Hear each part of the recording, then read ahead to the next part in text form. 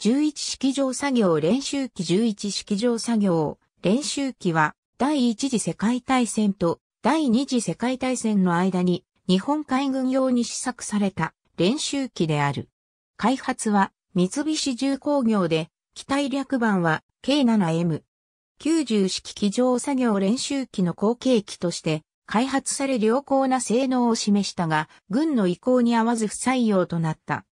1936年に海軍は三菱に対して90式機上作業練習機の後継機となる大型の近代的な総発の練習機の開発を指示した。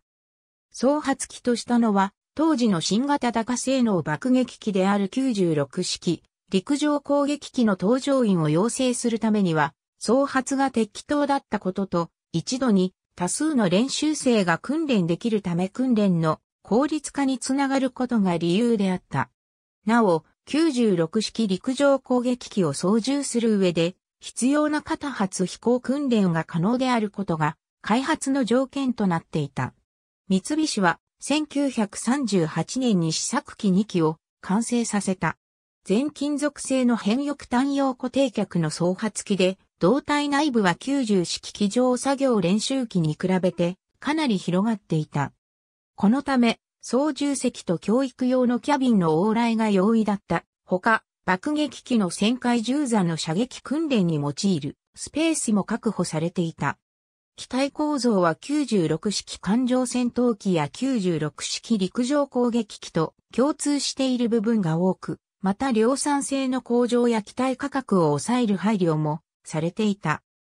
海軍によるテストの結果は良好で、性能や信頼性も練習機としては十分であったが、日課事変の拡大により、状況的に練習機よりも戦闘機や爆撃機の需要が拡大していた上、本気ほどの性能や装備でなくても搭乗員の訓練は可能であるという意見も海軍では根強かった。このため本機は不採用となり、試作機2機のみの生産で終わった。